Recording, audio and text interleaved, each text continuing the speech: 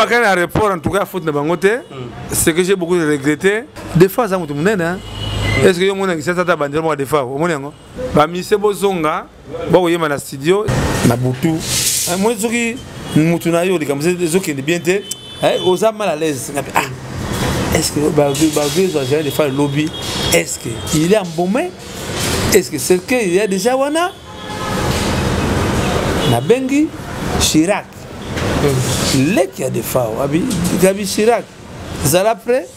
lobi avion eza na tongo hmm. ekoma sikoyo ba 12 heures bana kor abi est ce que banda yo eza kuna si omoni général defao abi papa ntango général defao te ndenge bana kufa bana ya oh. yo omoni parce que to bantu bato to bato te biso hmm. ndenge ndenge tokendaka wana émission oyo bayebi nde esalamaka il faut que etano kora ndeko atia na cercueil Hmm. Est-ce que aussi bilamba ya defa obimisa ngo na kobomba mate. Hmm. Azui parler ya bilala activité ta bilamba defa yango. Na pese. Na pese donc eloko moko te. Hmm. Ngabi non ça c'est c'est impossible que le gouvernement essaie apesa mbongo pa ya chargé d'affaires bambome. J'ai des fois baso maselike ya kitoko olobi bata ministère babenga bato wana ke il n'y a pas de voyage rien ngai nango obenge yango na place na bango azala na mai ya miso jour nakozala te qui va faire ça encore on m'accuse c'est moi motu na lubengani badepute nalongeli bango na liste ouais, délégation eh, eh, ngai naboyi badetala niveau na bango komatisa ngai niveau moko impossible nyonso rapport ntango bakutani na pesa diso alemba kuna bazwi badisposition babengana ngai na kati ya comité d'organisation le premier c'était comment mpo toluka pa ya makambo ebebeli akei kodiabolize ngai meme na niveau ba, ba bakonzi ya biso akiti de art maintenant akomi na mal vue euh, je suis très dessus triste que nzoka ntango papa defa akufaki on était ensemble ya comédie ezali ekomi partout hein? comédie ekomi partout pesa biso tosala mikanda biso mibale tosigne note d'information deuxième lettre au gouvernement traité signé par ngai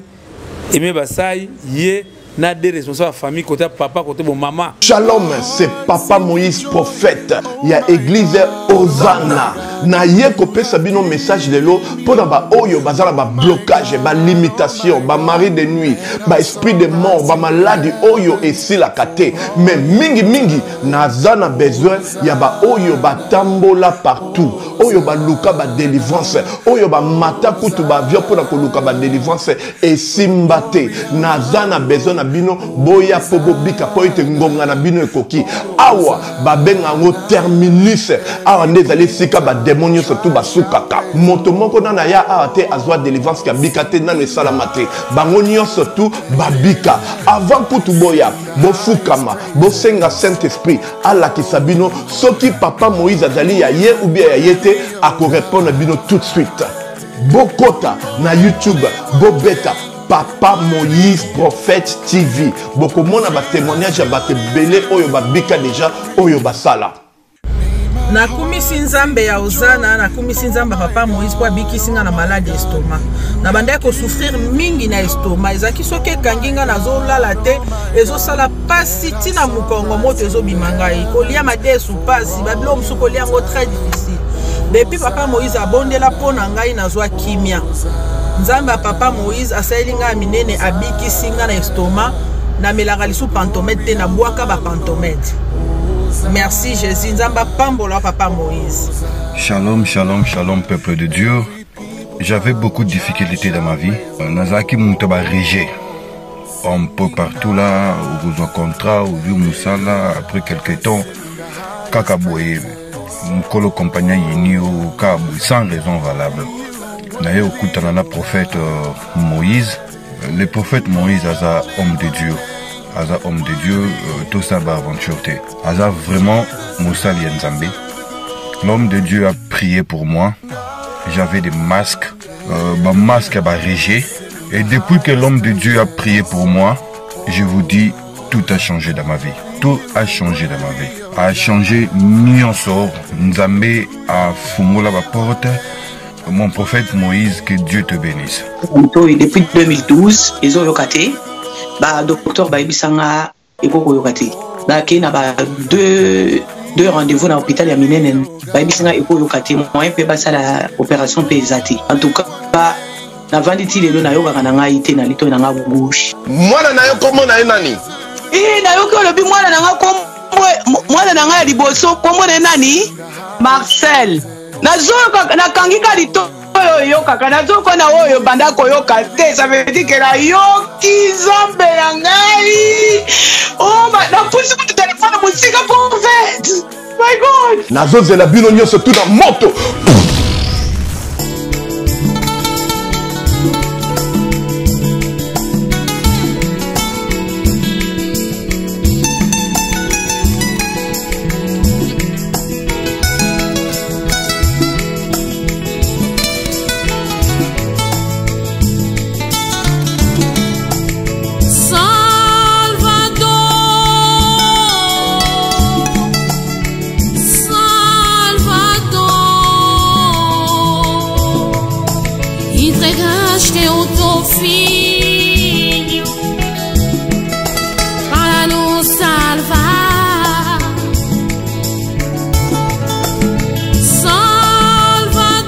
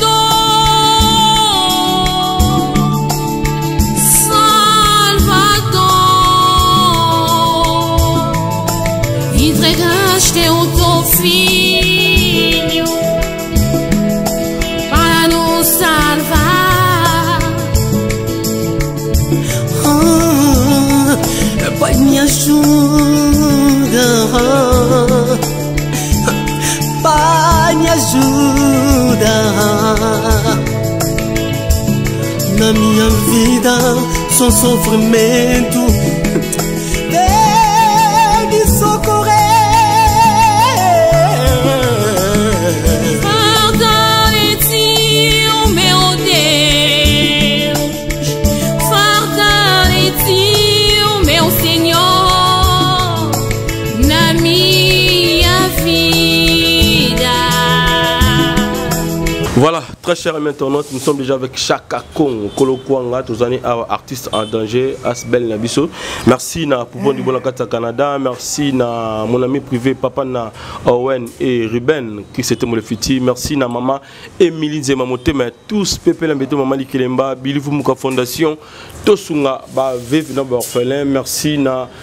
grand frère propre Jean-Robert Kalala, les savants. de la de la force kati motema ya maman na biso Nicole maman na parfaite na Paris wana voilà merci na Mika ba jinde de la caméra les grands réels merci na bande surtout bota la biso voilà nouvelle année to coach to percer déjà avec Chaka Kong voilà kolo kwanga boni santé na yo aussi ya ah. asbel na biso bon vraiment kaka toza na kolemba parce que on a travaillé beaucoup la nuit mhm. on a il fallait corée ya lelo yango moni On a essayé d'éclairer, koyebisa bakonzi qu'est-ce qui ne va pas, qu'est-ce qui va, c'est ça. Ok. Ah, voilà. Alors, pourquoi ça traîne bozo pesa sur ba programme euh, lelo corps ekobima lobby et tokezwa corps lelo tokende corps lelo et jusqu'à maintenant aussi euh, général de fa wazana na mbomete il paraît nde tozwi message na ntango lelo bon euh, fo tokende tula tobita nyonso tolobi nango ebele tozala un peu court na makambo oyo euh, ngai personnellement euh, je suis très dessus ya comportement ya kultu na biso ado salemba mhm. vraiment c'est très triste mhm. ke nzoka ntango papa defa akufaki on était ensemble mhm. ayebaki bien ke alobaki non nga makambo nayebi nanga esalamaka te sala ndenge osalaka tobandi très bien pomme discord ezali wapi jour tosaki liste na na mise ya kiti des arts mhm. on a prévu parce que fa tokende 5 musiciens la première liste na kati ya réunion nde bakebisa biso ke le gouvernement azwi afete avion nde togonfle sikoyo tobakisa bato oyo bazangaki balofongo tobakisaki ntango tokisasa test ya covid kozoka tozonga nakuta fi moko euh, bayemba ya sami tepetaskomene diama noir atuni osani o oh, voilà kabe nazokende voyage oh. natuni mama bana defo akufa se okende na matanga o oh, naza kobelanga o sikoyo Tango il voyage malade sili. Wana nani? Diamant noir. Diamant noir. Oh. Ngabi ah maman, omoni pesa Dieu ça dit pesa imiko. Mm. Imiko eza eloko na été. Eza eloko association union des musées congolais. Mm. So eloko ngo salama. Hein, ba viser biso c'est moi réunion, on dirait que comme l'eau c'était parti de là. mwa ba nini mwa ba incompréhension mais ngai nazali euh, administratif nayebi me na kati ya révolution culturelle bayebi avant kozwa likambo fo benga baninga ata mosusu soko eloko ye nano yebi te esalamaka c'est ça abiango na français de compréhension nde na butu wana aviango finga ngai loba loba loba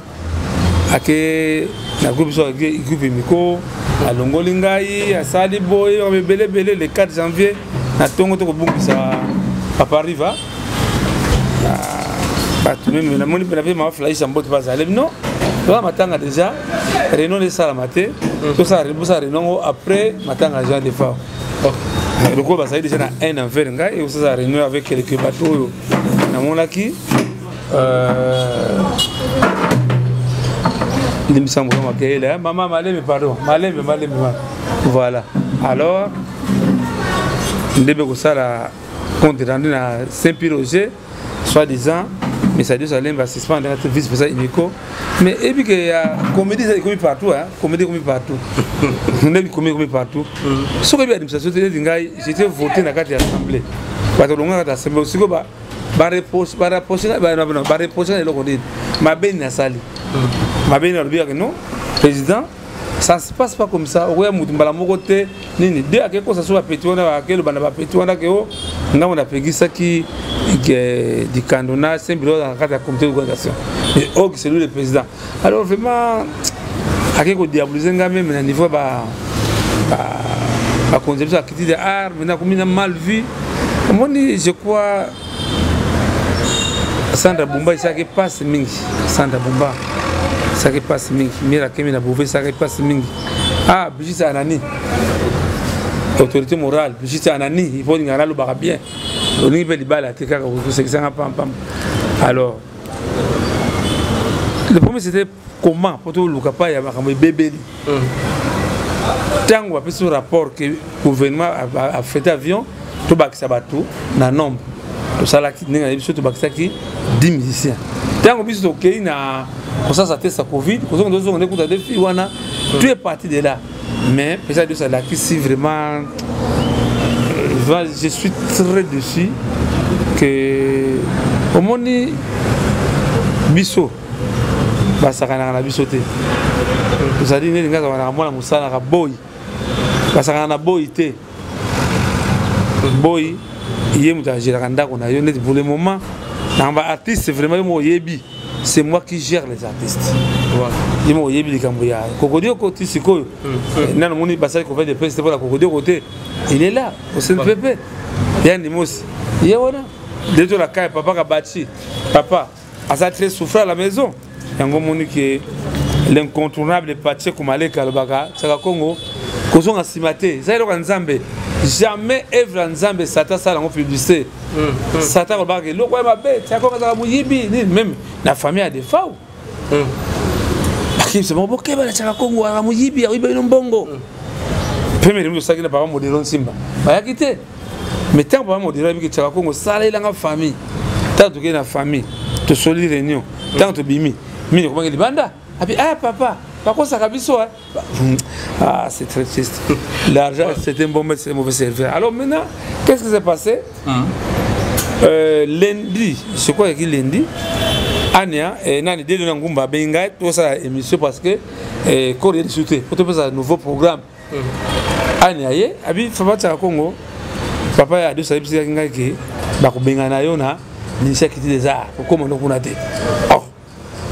abenga nanga ana yebisi nga basola ngai napesa de salome eza biloko etikalaka te si je mens je mens osi émission ana tokenda minisaki te eza elemo nereve na saki folo ozala quand même kokota ozokotaka boye saka kongo vie ania derekap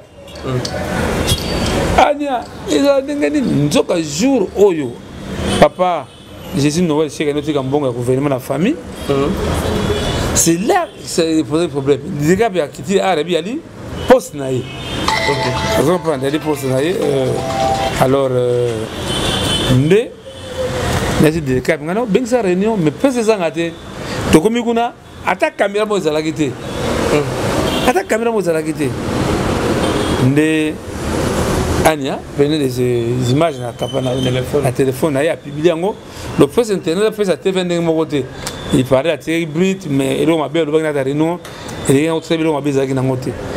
encore omakise c'est moi mutu na bengani ba député na longi bango na liste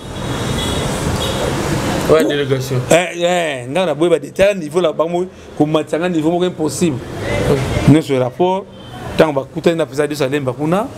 parce ba distribution ba bengana ngai na kati ya comité d'organisation omoni euh, nani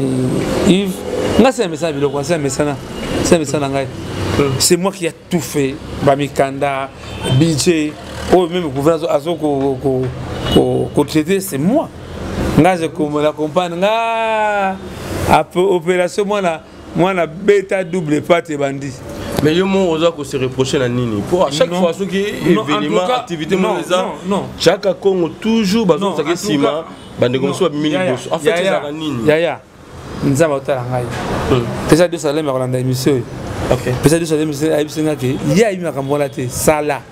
mais aleki na groupe abiki ngai nakosa mikanda moko na imiko ye ayebi te nzoka tosala mikanda biso mibale tosigne note d'information deuxième lettre au gouvernement traité signé par ngai Aimé Basai, ye na des responsables de famille côté papa côté bon maman.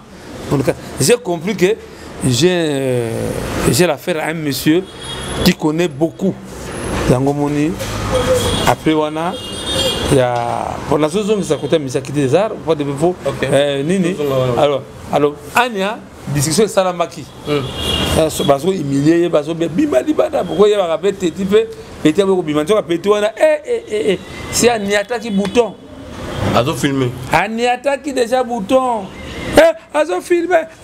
sorte sorte abimi na ye to atiaka congo je ne fais pas te voir dans cet aclos nde babengani ngai nakende susu na misere kiti ezalaka papa ngai kutu asala resistance te ngai se na mesa na ngai owese na bango balie balie mpe kosumbela yo kosa mpe basumba ngai bosumba atiaka nazwi contact na yaya le pays est malade le pays est malade le congo est malade devant l'argent yango moni bitumba na est ezosila te parce qu'il y a trop de traite dans ce pays à cause d'argent patriotisme ye natalaki image moko ya mwana moko ya japon ya japonais eh, leki na kufi amemi leki ne na mokongo solebi bwaka bwaka osi akufa bino c'est mon frère tozangi bomoto wana tokimisi yango makasi yango moni bapaya bango bosaka na congo to perdre sens ya humanisme to perdre sens ya, ya, ya, ya bana mboka à cause d'argent on tremble j'ai compris kabi ah ania ezonga passeport nakende nzoko se balongolaki biso kala na kati ya autre émission ça c'est méchant hein? na, na, na, je ne marche pas des mots c'est méchant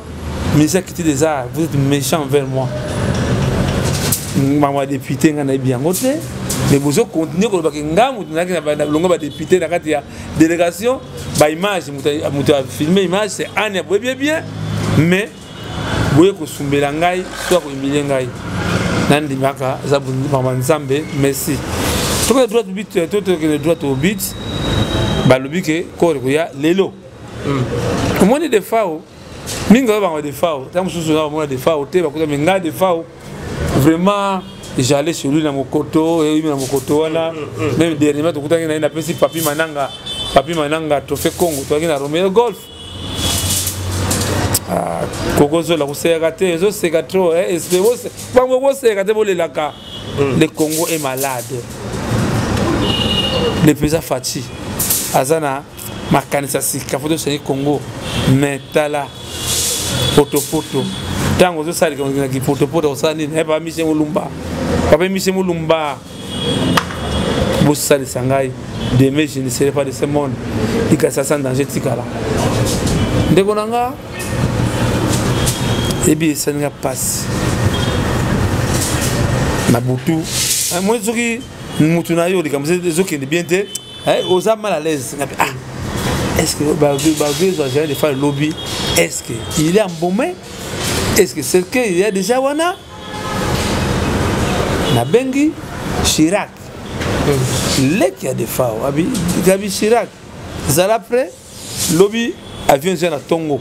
mm. ekoma sikoyo ba 12 heures bana kor abi est ce que banda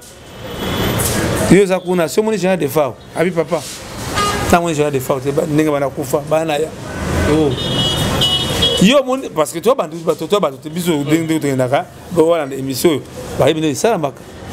oketala corps na ye doris lema la personnalité eyebi nde ezalaka doris lema il faut ketala nokora ndeko avatya na cercueil hmm. est ce que kaka ozwi bilamba ya defa obimisaki ngo na kobomama te hmm. azwi pare ya vida lactivie eta bilamba defa yango napesa eloko moko te hmm. ngai non ça c'est c'est impossible donc amoni bilamba mais corps amoni te non comprendre te avant atia defa bakolatisa ye te bilamba ya defa eza pa ya leki nde chirac te ok nabengi papa roger mpo chef ya protocole ya ministre ya culture des arts okay. ngabi papa makambo nazoyoka awa benga excellence nazomona claire te nabengi antoba jacques leki ya defao nabengi dialo eh, manager ya defao tosali en conférence okay. papa roger oyo akiti a alobi biso boye ke le gouvernement esi apesa mbongo mpa ya chargé d'affaires bambome jean defao basomba selke ya kitoko c'était prévu mais tokende tozonga nanu kolo soki koya basango ya zengi ti mais kolo famille bazali famille bazali kuna bamoni te ekolakisa na ndongo esalami te nde sikoyo toyokani ngabi ngai papa roger yebisa mama vraiment lobi en tout cas avion ekende ngo pamba obesa mbongo pamba ba changer jour nde likanisi eutaki butu butu butu oyo oyo bazwi mbongo ya matanga ya ya defao si bazo bakendeki deja me ngai kuta zwi eloko moko te tala susi na zambo yango olakisa ke meme eza tosilisi euh, kosola bandeko defa ah papa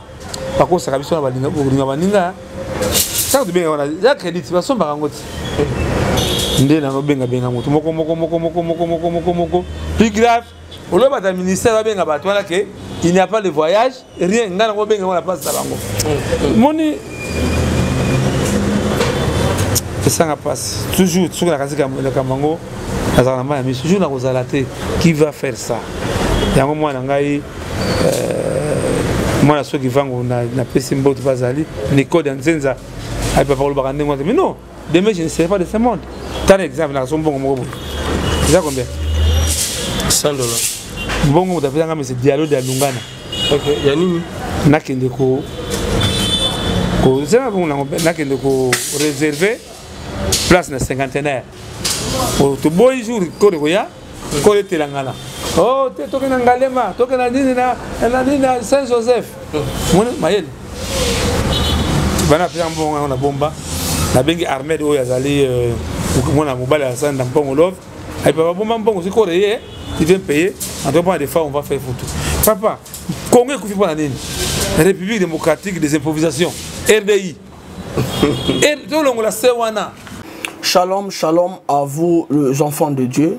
napesi bino mbote na nkombo na yesu c'est bien moi votre frère le pasteur israël nash je vous salue au nom de jésus je suis précisément à kinshasa naza responsable ya ophelina jésus est mon papa naye liboso na bino mpo na kopresente bino bana oyo bozomona na bilili mpe badifficulté toza na yango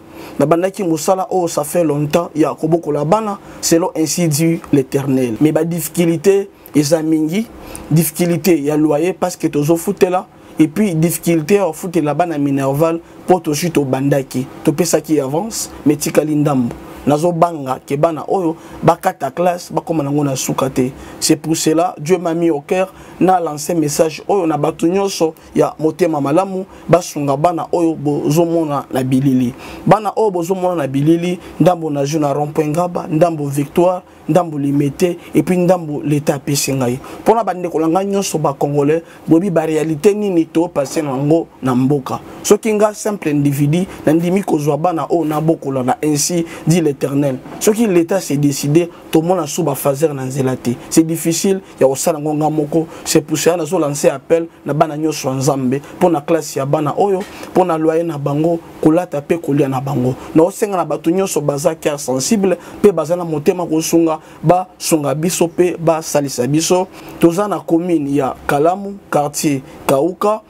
référence ya monene tokangami na université kimbangiste aveni nkombo na yango eza marin numero 16 numero ya telefone na biso mpo na bato balingi bacontacte biso mpo na badetail mosusu eza plus 243 89 72 32 229 rdi république démocratique du congo tobakisa na i wana tout le monde s'improvise hmm. surtout na matanga lelo tolaka ya kokodioko qu'est-ce que le gouvernement fait pour kokodioko tozongana na kaya defao alors par rapport ya bilamba na ye il paraît que aussi euh, bilamba oyo ya ye moko alataka wakina na valise bilamba na petikali komonana te na hotel azalaki tout est intact zela ntango mosusu kozwa chance euh. vraiment tumeka kobenga nanu parce que il faut charger d'affaires okay. akoma na douala mhm. pona ba et puis qu'on a bambomé tout jusqu'à présent non tokozwa précision kuna balobaka nini te ça c'est chira qui me dit na namona corte parce que normal soki olingo ya lelo il faut eza na cercueil eleka mona zela na pardon limbisanga soki tokozwa komona ye mpona mpo azo Travail numéro ya Cameroun. Ok. Euh, c'est très triste que bakonzi bazosalisa biso te kifanatisme ekomi trop awa ah, tokende sidio c'est moi qui a tout, toutes les initiatives meme nzemba mwana defao eza initiative na ngai oyo napesi deme record oyo napesi tous les musiciens félicitations vraiment non non esanga mpasi mesi na mesana hmm. ata mosusu mpe okrake mpe biso ata tension mpe lupa moko okei ya parce que non oyo ndenge olobi mabe nini nasalaka neti kaka yande mosi moni fasi moni mpona yande mosi ete la hmm. monsieur le comédien asalaka mabe kaka kokodi oko mpona asalaki yaka mabe on a comprendre que satan akomi na rdc lor république démocratique des improvisations partout on improvise je crois que esotuki oyebi mpe balingaka no yo te mais olingaka kozala pembeni ya bango landa bien napesa likambo boye pakopa shaba ntango ebebi ya defa oye ya kope te papa pasa baninga bosepaka nango te bakopesa te wana na bacommentaire bandeko baomelananga bien wana ya zoba hmm, babie cakakongaka te kopa shaba defa oye ya zoba banga benga bato wana parce que se aloba bafinga nde balingeli parce que na kati ya internet oyo bakomantaka ya deja ya des satanistes tout bango na kaka ya hmm. ya mabe parce que nga ba famille on a aida soki epai na bango balengelaka nga makasi hmm. na lelo nga sako nakufa jamais nzala na kisasa so nakende epai ya dikens leke ya joski dernièrement nani kolia na bonane naliaki na bana yandi mosi na mosi yandi mosi hmm. ozopanda bazolengela ngai ke papa wana moni bonabeta tolo te mboko c'est pas tout le monde qui faut meme c'est pas obligatoire ndenge mission noko alobaka 100 nzambe aza 100 maintenant il y a des églises de satan loso ndima kaka non kende yo nayo tolanda yo mwa eloko mo tosala oyedaki eh, mama moko boye opesaki 100 dollar likwa 10 dollar azomenase yo taa nani taa nani comedienne moko bona yebi te eza mpasi napesi famille famille kiele famille kiele partout bozali dominique yema mosaka ata ntuka personnel je n'oublier jamais napesi bana famille kiele kiele en tout cas abosanaka bino te souvent on a perdu un monsieur qui était vraiment tout près de moi tout près des livres ye azotindela biso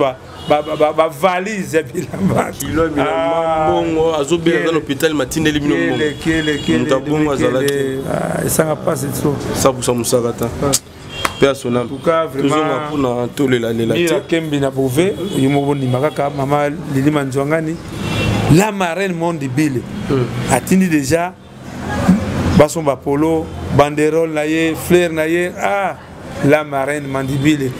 napesi mpe mama nguli mama bana ebele oyo aidaki biso na kai ya papa na biso yande moza ntuka mama wana fondation nathan messi aida vike oyo me bafingaka ngai bafingaka ngai bana kofinga oyo balobaka cope bakende na bacimetiere bakende na hopitau na bobisu na banini ya bato bele basouffrir maintenant éclaire biso par rapport ya corps ndenge ezotraine pourquoi ezotraine e relate biso histoire yango eza ndenge nini koya ya corps ya général de fao ekezala na morgue nini voilà bandeko baretenir nini ya motuya euh, déjà margue balongoli ngai na commission na bango ya leta ah bon? euh, ngai nakosala nazosala je continue à faire mon travail mm. na bolingo ya jean de fao guile maindu mm. akoyebisa yo comment on travaille avec guile maindu le grand mannequin bato ya mbongo bato ya misala mabe bamonaka mais apres matanga bakosala eloko na eloko moko te awa omoni sikoyo lelo si bazwi mbongo ya defab si babandi kotambola koloba ba bêtise nga tina de toute façon nasalanga mpo na mbongo te c'est la mot de prochain jamais ke soki ofingi ngai nayokela yo jana de fa kode koya toremercie président de la république toremercie premier ministre toremercie mise ya kiti des arts mama na biso kati toremercie eh, papa oyo asalaki biso interim papa modero nsimba misa tourisme nakosenga na mama kati na misa kitide eza mama bato azoya bainformation na se faux ils ont créé eh, babi yango euh, eh, nini babi yango nini bacreye mwa incident moko boye oyo baelimine ngai mais là c'est sans danger meme na regrete oyo oyelandi yango te sénateur denis kambai awanga nde sans danger ah bon ah sénateur denis kambai na mpe oyedaka nga vraiment leso sasa naza eza te na kosala mosala wana yo oyebi il y a des cas nguza biso azo oza na mbondo monaka akufa na balabala na balabala ifo nazwa dra na ngai nafunika moninga papa moko papa mbala dufa oyo bamema na pusu boyaka na makambo ya boye eh, boyaka na makambo ya bosenatere bosuteni likanisi oyo bosoutenir ngai napesi deja sos mpo na papa na biso kabachi napesa nimero contact na ngai fondation eriki mukadi fondation eriki mukadi kolemba te likambo ya papa kabachi awa hmm. oyoki bamise krite te oyoki te nzoka makambo oyo oyo nalobaka ntango mosusu ya solo tete junga baye te mama tete junga ndege tomona bango te apart frère patrice na ndeko na biso moulaja néanmoins de wana tozalaki na bango tomoni bango vraiment te toloba vérité kua na baoyo basala na ye na baza bakomi bacamarade bacollègue na ye bami tomangi bango vraiment te alors likambo moko tobima na internet il y a moi na général defa oyo ya mobali nayebi te se oza courant que général atiki mwana ya mobali akomi déjà jeune garçon et atiki deux parcelles ndenge balobi eh, na, na, na, na, bon, euh, na, na, na mbinza est ce que tout ça tokoloba ke eza vrai eza réalité likambo oyo tozokomana na internet bayebi biso kosalaka eza tv te tv oleka nango mbala moko ntango mosusu barise te mais oyo ezali internet balingaka baoyo tozoloba wana ngai nakokende na mokoto ngai namonaka jamais mwa defao ozo comprendre namonaka jamais mwa defao je ne pas incontournable euh, euh, pateko nayebi ye soki amona mwa defao ngai en tout cas à ma connaissance namona mwana defao te namona mwasi ya defao te so na mandako antuka mwana yebi na ya bavipifa na bango au moins ce que je sache ce que je sache nakokenda bonkolo defa moto ya ndeko na ngai te so likambo fo nayeba bon nayebi te parce que keba be biso bamisien to bato ya cobo cobo cobo ntango mosusu badusulaki na ye mbo toyebi te mais pesama ntuka mwa eh, naza mal vraiment informé voilà totikeli yo micro opesa programme euh, par rapport ya corps euh, ya général de bon message nazotindela yango na président dios alemba président dios alemba ozali moto ya lelo te na remercie yo ndenge oyokelaki mbele na ngai likambo ya imiko vraiment euh, bomeka nanu oya badimisaka wana bato ya bamisie mosusu bakoma eza aéroport bakuna a ah, nzambe na ngai vraiment oyo komboka te république démocratique ya d'improvisation yango papi palata ayebisaka nga ke eh, tiaka kongo bunda vraiment merci pesa diosa demba kolanda biyokayoka te bilandalanda te nga aza leki na yo totombola emiko na remercier famille ya géné de fao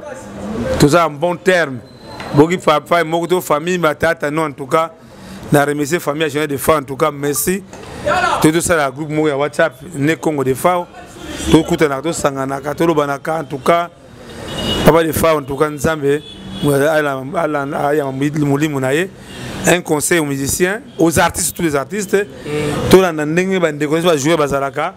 avant mata na po na terrain eh, baleka pa ba docteur parce que biloko wana on risque de de continuer kozwa bakaya ndenge wana parce que soki géant de fa wayebaka azalaki na, na diabete ta mosusu makambo mosusu ekokwela yango ndenge wana te en tout cas merci na bato nyonso tout na bandi na chef d'état na ministre ya culture des arts na premier ministre na papa gentili ngobila papa modero nsimba en tout cas merci vraiment nalingi mpe osola mpe mwa moke na oyo etali bongo bamusicien oyo baza na aéroport à senit moment oyebisa bango nini mpo batala déjà bavideo bamusicien ebele ba déjà na aéroport bazokende bon oyo bakei na aéroport en tout cas faute na bango te hmm. ce que j'ai beaucoup de regretter euh, obsèque ya géant de fao euh, amaritisme ezalaki mingi bamater to basala nini badeyo de obsèque wana defa aza moto monene hein? est ce que yo omoni na kisasa ata bandelo moko ya defa omoni yango mhm. ata bandelo moko te ah, vraiment bamise bozonga bakoyema na studio dem record aozela bino to ya defa en tout cas messi 00243 81 657 0958 00243 9 92 30 43 40. Ça, c'est mon numéro. Ma, ma chérie Sandra Bumba, dit Aniston, je l'aime beaucoup. Hein, la PCP Yandimos. Yandimos, mbote pas aux aïna en Afrique du Sud. Fisso Pelende, Fisso Pelende. Fisso Pelende, en tout cas, merci. Yo, Zali Radio le collé. Le collé, il est là. Na remercier. papi palata papi palata mbote mpo azali azali moto oyo asoutenaka na makambo ebele en tout cas à la prochaine fois bozwa vrai vrai euh, babe yango euh, programme mpo na ko eh, ba délégation mais en tout cas bato moko mpe alobi likambo yango eh. mais délégation ekende cameroun ya zwa ntina moko te parce que ekosala yango aller retour toza yango na report kaka hein, pourquoi ko, ko faire souffrir l'état badepense moko ezanga ntina batia corps leki na ezali kuna ekor eyembala moko toyamba corps na report vraiment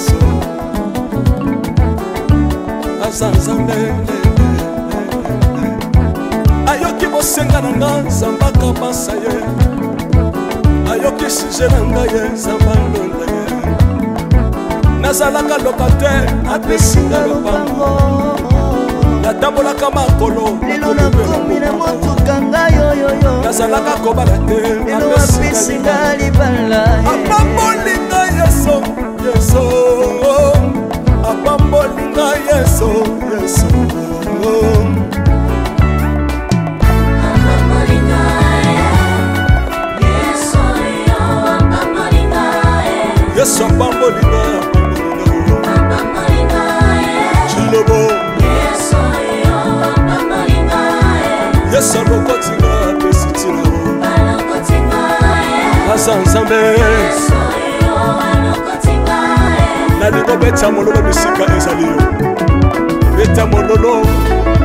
wapi bafisi du prophète bana royaume de dieu bana centre de réveil ozobouge ozobouge obinaka wapie mpo napambola yo ingénieur ki on est ensemble